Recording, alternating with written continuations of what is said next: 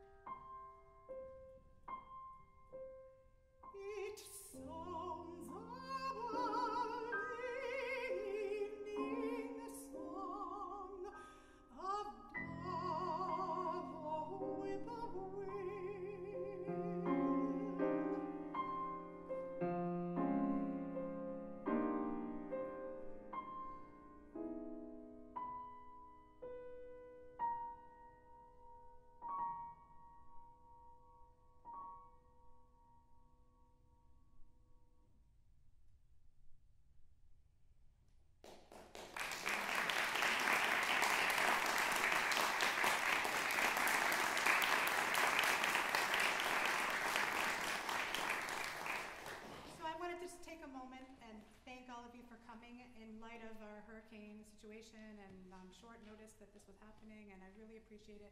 And I also just want to publicly extend my deep gratitude to the university for making it possible for me to do this recital, even though they canceled every other thing on the docket this week. So I really appreciate that. Well, yeah. Now for something fun for our last piece.